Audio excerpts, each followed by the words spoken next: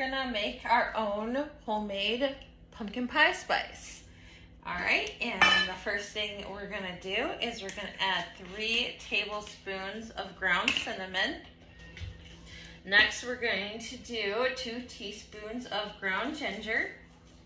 All right, and next is going to be two teaspoons of ground nutmeg.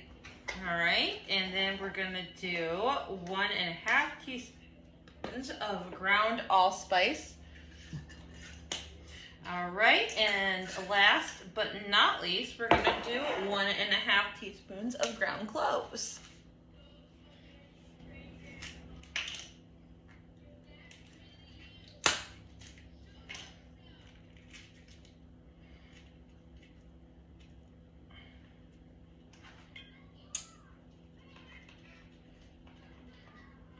One and a half.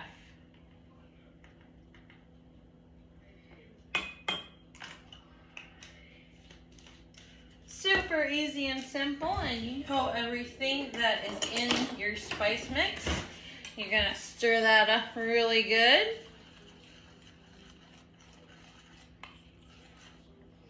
Mmm.